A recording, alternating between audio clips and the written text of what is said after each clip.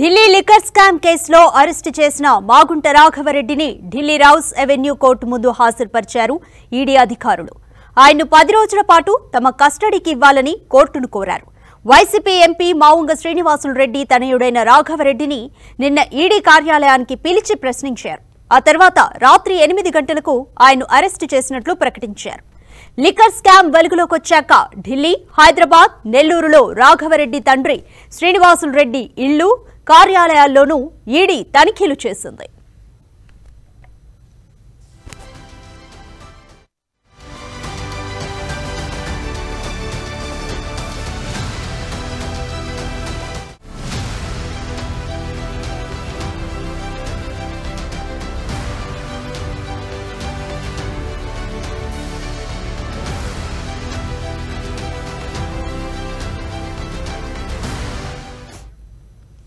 Liquor స్కామ్లో దర్యాప్తు దూకుడు పెంచిన ఈడీ వారం రోజుల్లోనే ఇద్దరిని అరెస్టు చేసింది.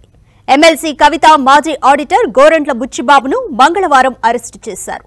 ఈ స్కామ్లో కీలక పాత్ర పోషించారని భావిస్తున్న మాగుంట రాఘవరెడ్డిని కూడా నిన్న రాత్రి అరెస్టు చేశారు. ఈ కేసులో ఏపీకి సంబంధించిన తొలి అరెస్ట్ ఇది. మాగుంట రాఘవరెడ్డి వైసీపీ ఎంపీ మాగుంట శ్రీనివాస్ రెడ్డి కుమారుడు. ఢిల్లీ లికర్ స్కామ్లో మాగుంట రాఘవ కీలకంగా వివరించారని ఈడీ అధికారులు అనుమానిస్తున్నారు. నిన్న మాగుంట రాఘవను ఈడీ ఆఫీస్కు పిలిచి రాత్రి ఎనిమిది గంటల వరకు ప్రశ్నించారు. అనంతరం అరెస్టు చేశారు.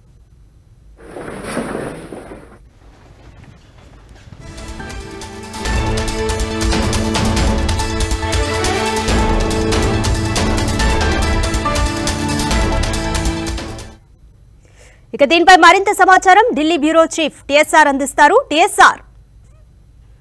రాధిక ఢిల్లీ లిక్కర్ స్కామ్లో అరెస్ట్ చేసినటువంటి వైఎస్ఆర్సీపీ ఎంపీ మాగుంట శ్రీనివాసరెడ్డి కుమారుడు మాగుంట రాఘవరెడ్డిని ఇవాళ మధ్యాహ్నం వైద్య పరీక్షలు పూర్తి అనంతరం సిబిఐ కోర్టులో హాజరుపరిచారు. వాస్తవానికి ఢిల్లీ లిక్కర్ స్కామ్ని సిబిఐ ప్రత్యేక కోర్టు న్యాయమూర్తి నాగపాలు రెగ్యులర్గా విచారణ జరుపుతున్నారు. అయితే ఆయన సెలవులో ఉన్న కారణంగా ఇవాళ మరొక ప్రత్యేక న్యాయమూర్తి సిబిఐ కోర్టు న్యాయమూర్తి నరేష్ కుమార్ ముందు ఆయన్ని హాజరుపరచడం జరిగింది. దీనికి సంబంధించి ఈ కుంభకోణం ఎందుకు ఆయన్ని హాజరుపరిచి తమకి మరొక పది రోజులు నిన్న ఆయన్ని ప్రశ్నించాము. ప్రశ్నించిన అనంతరం నిన్న ఆయన్ని అరెస్ట్ చేశాము.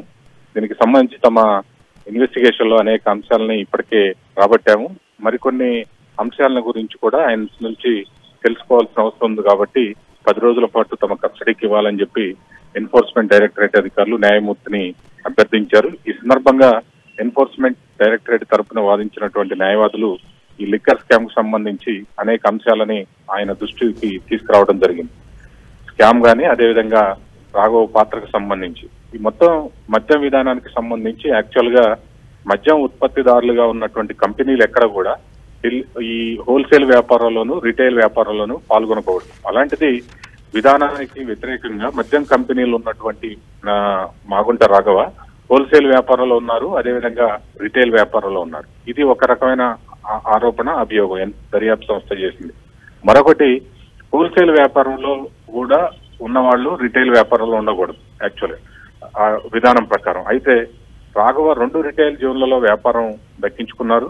మాగ్రా మాగుంట ఆగ్రో ఫార్మ్స్ తరపున రెండు రిటైల్ జోన్లో వ్యాపారం చేశారు. అదే సందర్భంలో హోల్సేల్ వ్యాపారంలో కూడా ఎల్వన్గా వచ్చినటువంటి Indo Spirit company Sameer Mahendra company ఏదైతుందో దాంట్లో ముప్పై శాతానికి పైగా ఆయనకి వాటా ఉంది. అది నేరుగా ఆయన పెట్టకుండా డమ్మీ కంపెనీల ద్వారా ఆయన దాంట్లో వాటాదారుడిగా ఉన్నారు. దానికి సంబంధించిన ఆధారాలు ఆయన అంశాన్ని వాళ్ళు ప్రస్తావించడం జరిగింది. దాంతో పాటు ఏదైతే ఢిల్లీ లిక్కర్ వ్యాపారంలో లబ్ధి చేకూర్చడం కోసం సౌత్ గ్రూపు ఈ ఢిల్లీలో ఉన్నటువంటి అధికార పార్టీ నేతలకి ముడుపులు చెల్లించారు. వంద కోట్లు. ఈ వంద ఈ సౌత్ గ్రూప్లో మాగుంట రాఘవ కూడా కీలక వ్యక్తిగా ఉన్నారు. అదే సం- అదే విధంగా ఈ వంద కోట్ల చెల్లింపుల్లో కూడా హవాలా లావాదేవీలు ఉన్నాయి ఈ వ్యవహారాలన్నింటిలో కూడా మాగంటి రాఘవ పాత్ర ఉంది అనేటువంటి అంశాన్ని వాళ్ళు న్యాయమూర్తి దృష్టికి తీసుకొచ్చారు. ఈ లబ్ధి పొందడం కోసం వీళ్ళు కుట్ర చేశారు. సౌత్ గ్రూప్ మొత్తం కలిసి కాన్స్పిరసీ కుట్ర చేశారు అనేటువంటిది ఒక అభియోగం ఎన్ఫోర్స్మెంట్ డైరెక్టరేట్ చేస్తుంది. రెండు ముడుపుల వ్యవహారం. ఈ అన్ని అంశాల్లో ఆయనకి పాత్ర ఉంది కాబట్టి తమ కస్టడీకి ఇవ్వాలి. మరికొన్ని అంశాలని సమాచారం రాబట్టాల్సిందని అంటారు అటు మరోవైపు ఆయనకి ఈడీ కస్టడీని వ్యతిరేకిస్తూ ఆయన తరపున న్యాయవాదులు వాదనలు వినిపించారు. ఇరు ఇరు వర్గాల వాదనలు విన్నాయి.